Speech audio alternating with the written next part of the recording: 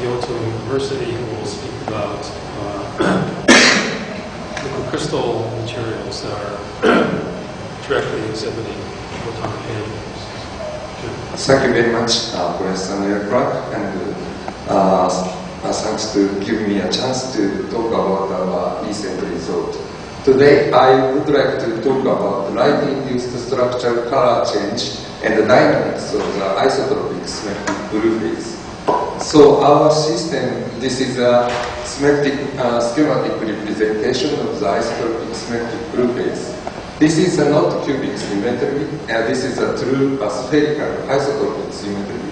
So color is uh, completely uh, does not change a viewing angle. So this the green is uh, always green, uh, looks uh, in any direction. So our system made by uh, two types of uh, mix, uh, mixture of the two types of ferroelectric crystal molecules. One is this kind of twin molecules. Is this is a dimer, and this is a, a mixture of the completely uh, the half of this dimer is this uh, monomer. So we uh, this we call this is a commensurate mixture. So this is a uh, uh, schematic representation diagram. It's just a half of. Uh, this is a monomer. So we mix these two kind of molecules and uh, this. Uh, okay, so phase diagram. I'm sorry. So phase diagram is lost. Okay. Or here. So. This is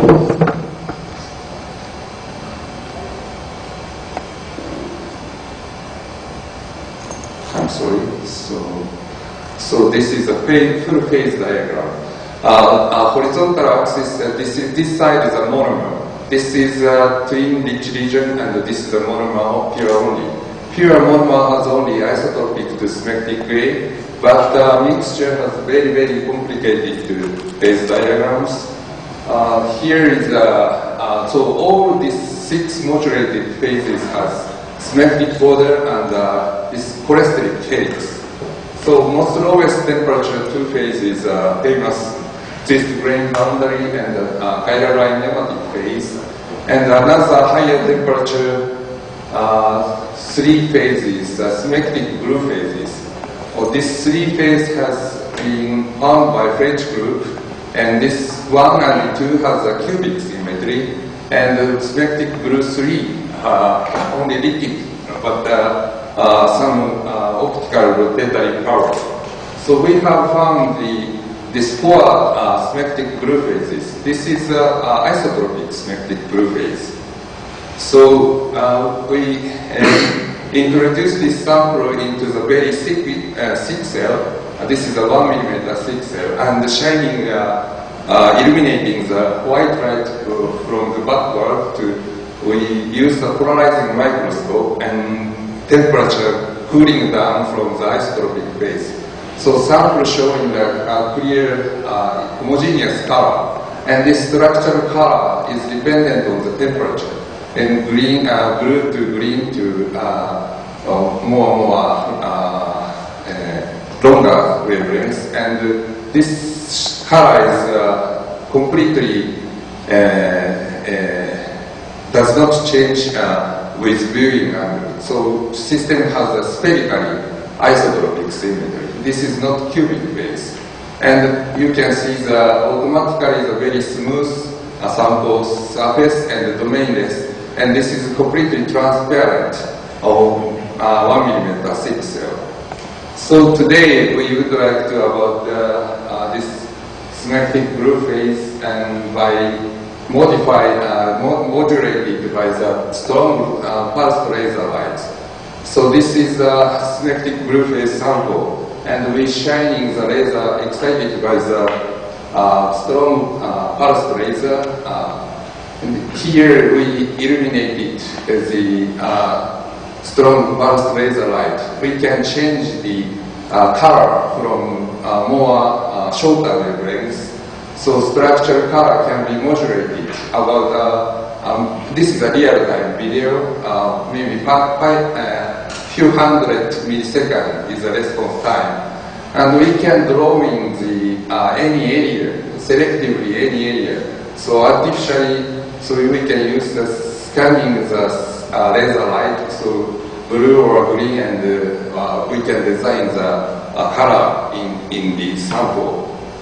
And this is a slightly different video, but uh, mainly a similar way, and this is a color is different. So uh, we try to understand the mechanism of this uh, color change. So this is the analysis of the spectrum change by the high-speed spectrometer. So this uh, span is uh, one second. So this is uh, light irradiated in, this time, and this is a uh, laser light turn off. So color uh, quickly change about 100 millisecond, and then next uh, very slow process. So first process we call this the slow mode one. This is 100 millisecond, and the slow mode two is a few seconds. This is a uh, two type two, two types of relaxation.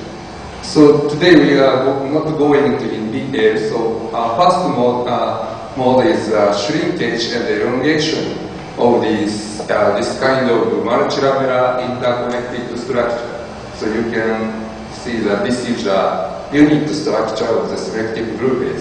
So uh, slow mode one is uh, uh, keeping as a multilamellar number of the layer. So the inherent structure uh, shrinkage and elongation of this uh, unit structure. So more slow one is uh, uh, few uh, second uh, relaxation time. So this is how we conclude the this most mode is uh, correspond to the uh, I'm sorry. So and so of the, the layer uh, uh, the combinate the combinated uh, the very mo- much more long time. So we can see the two types of different relaxation mode in uh, color change, and we try to al- al- also the dynamic light scattering in this uh, smectic blue phases. So this is a, a conventional homodyne dynamic light scattering spectrum uh, from the 1 megahertz to the uh, 1 second. So we can find in the smectic blue phase uh, two relaxation mode. One is uh, something around uh, 10 microsecond and very faster mode. The another one is this is around the 100 millisecond. So this two uh, mode exist in the smectic blue phases. So in contrast with smectic blue phase, we also uh, me- measure the uh, cholesteric blue phase. So in the cholesteric blue phase, uh, only one relaxation mode can be uh, measured. So with this relaxation frequency is uh, maybe 10 kilohertz, very close to the orientational fluctuation in the nematic phase, and also uh, cholesteric has a orientation, ori- orientational. So this fluctuation mode corresponds to the directional fluctuation in the cholesteric blue phase. But in the cholesteric blue has a, a, a cubic uh, disclination uh, cage of the disclination. So this orientational motion is localized in the uh, one unit cell. So this uh, this mode does not depend the uh, scattering angle, and so just around uh, 10 kilohertz. So as compared with, with this data, so this in the smectic blue phase one, one ISO, uh, this higher frequency mode uh, correspond to the uh, orientational fluctuation in the uh, multilamellar cubic uh, lattice, uh, similar to the cholesteric blue phase. So another slow mode is very uh, close to the response time of the color change in here. So this is the expansion or shrinkage of the interconnected uh, cubic. So uh, we, we, today we focus uh, our attention to this higher uh, frequency mode. So just around this uh, uh, phase transition line and mixture is 70% is uh, uh, monomer each sample and sample uh, from isotropic to smectic blue 3 and then smectic blue iso and then smectic A phase. So this is uh, uh, in the isotropic phase. So fast mode exists even in the isotropic phase. So this is a very fast mode and uh, very similar to the uh, order parameter fluctuation near the isotropic to nematic transition. But in this case, uh, so this peak, uh, this is a temperature dependence of the higher frequency mode. This is a frequency, uh, relaxation frequency, and this is the intensity. So this intensity it increases in the uh, isotropic phase towards to the isotropic to smectic blue phase 3. So, uh, and this uh, relaxation frequency also slowing down uh, as, very similar to the isotropic to uh, transition, critical slowing down. But in this case, and this smectic blue phase 3, 3 so relaxation mode not, that's not a, uh, completely slowing down, but uh, completely co- uh, continuously connected to the first mode in the uh, blue phase 3.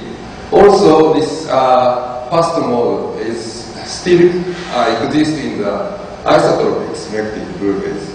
So we cannot identify the, any difference between this smectic blue phase, uh, three and two types of blue phase, and also isotropic phase or uh, completely uh, continuously connected to the uh, this fluctuation mode.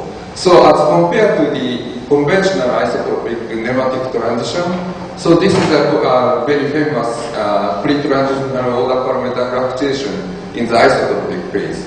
So this is a, uh slowing, critical slowing down of the order parameter fluctuation. And the intensity diverges towards the isotropic uh, with the first order phase transition. But just uh, below this uh, phase transition, this order parameter fluctuation completely uh, disappear and the uh, very slow orientational fluctuation appear. So this is very different uh, in, uh, in this case. So this is very looks like a, a pre-tra- pre- pre-transitional effect of the orientational fluctuation. But uh, uh, mechanism, mechanism is, uh, should be different. So we cannot now understand the uh, origin of this fluctuation. But compared to the cholesteric blue phase, in the cholesteric blue phase, the orientational fluctuation is uh, limited, uh, uh, localized in the, this kind of cubic cell. So the frequency is much more higher than the uh, orientational fluctuation in the nematic phase, but still uh, uh, finite gap uh, appear in the phase transition. So, and very different and in this case, and isotropic phase has uh, the similar uh, fluctuation uh, exists in, uh, in very close to the smectic blue phase. So we have not, not so many, uh, plenty time to uh, another uh, experiment. Uh, we try to understand this uh, mechanism. So this is uh, X-ray diffraction. So isotropic phase uh, has no layer structure. Layer structure appear at the isotropic smectic blue phase 3, and then this intensity increases like this. And smectic blue phase to smectic A is a drastic increase of the intensity. But uh, a similar layer structure exists in the smectic blue phases. So um, we skip this one. And uh, so, sorry. Oh, there. I'm sorry.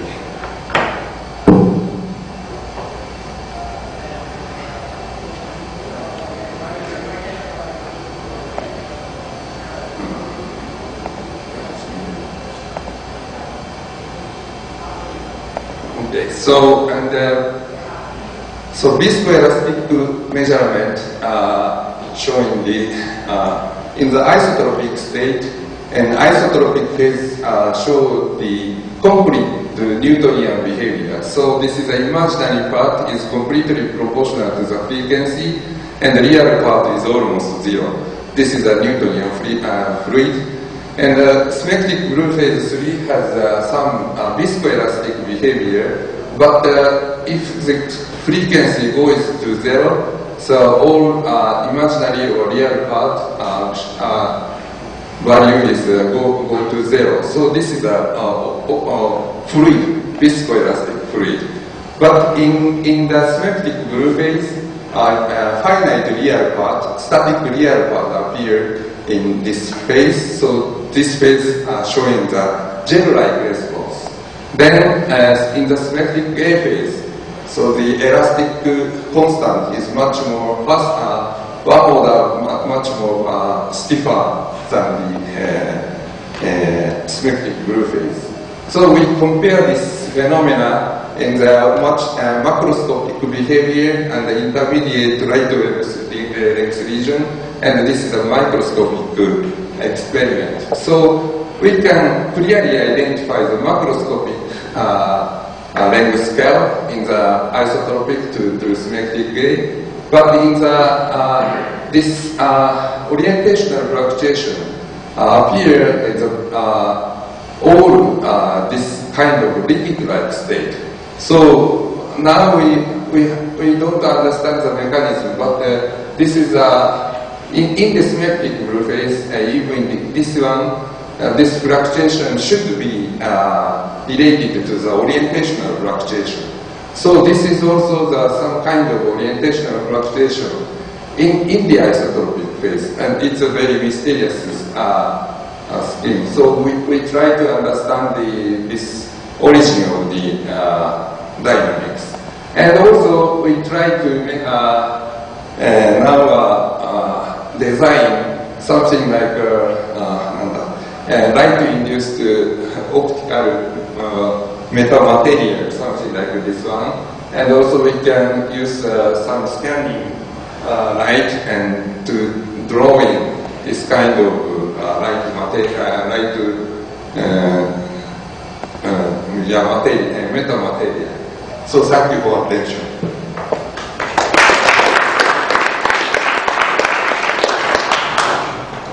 Okay, we have time for questions.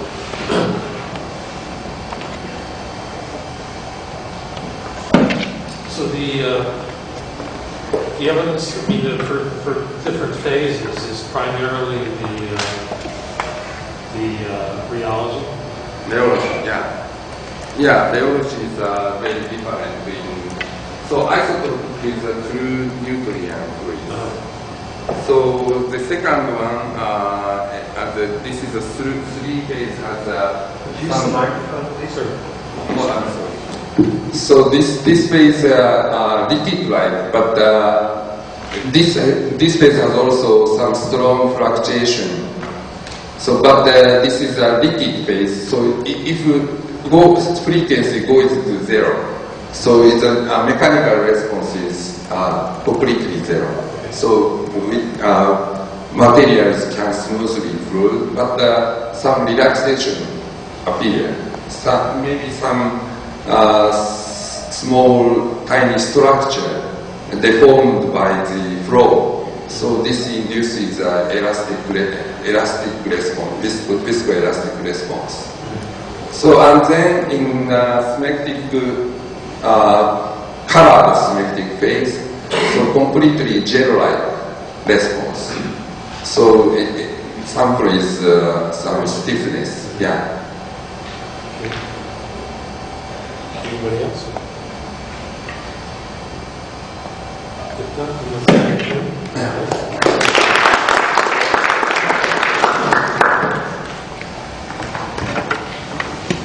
Okay, so we have our final uh, presentation of the morning session by the panelists from Cambridge.